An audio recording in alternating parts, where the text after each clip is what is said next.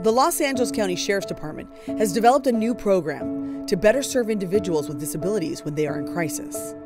The Special Alert Program allows family members and caregivers of individuals with cognitive or behavioral differences to voluntarily provide that information to their local sheriff station. If deputies receive a call for service to a participating individual's address, any information provided by the family or caregiver will immediately show up on their computer screen.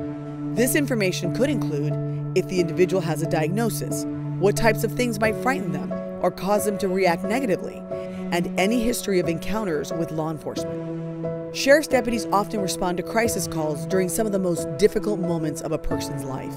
When deputies have critical information before they arrive, they can call for additional resources, such as our mental evaluation team, to help de escalate the situation. So, if you have a loved one with special needs who would benefit from this program, download the one page form today and return it in person to your local sheriff station.